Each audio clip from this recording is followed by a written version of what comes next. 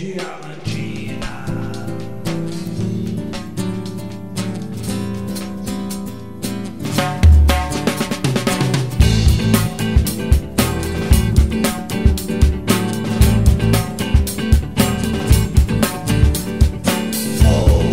Em Diamantina onde nasceu JK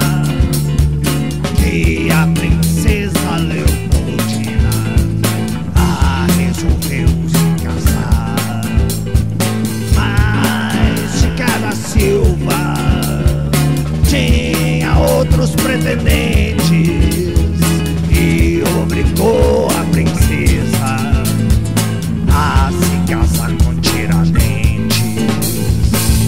Joaquim José, que também era da Silva Xavier, queria ser dono do mundo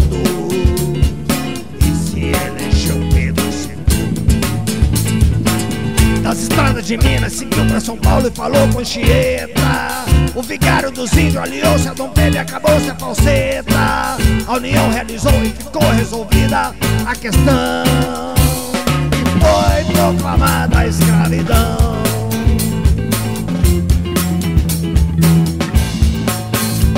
Assim se conta essa história, que é dos dois a maior glória.